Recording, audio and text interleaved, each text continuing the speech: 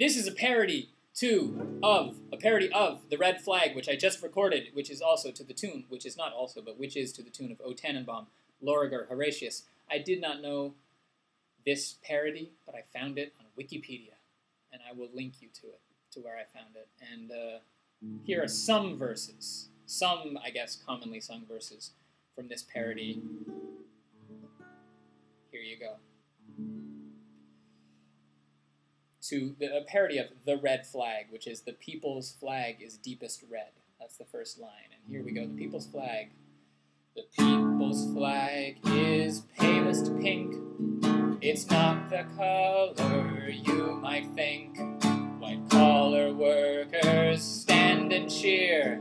The labor government is here. We'll change the country bit by bit so nobody will notice it. And just to show that we're sincere, we'll sing the red flag once a year. The cloth cap and the woolen scarf are images outdated. For we're the party's avant garde, and we are educated.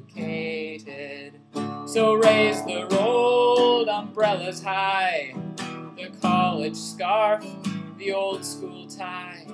And just to show that we're sincere, we'll still sing the red flag just once a year.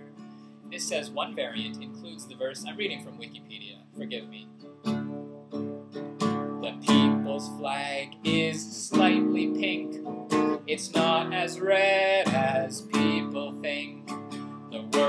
Class can kiss my ass. I've got the foreman's job at last.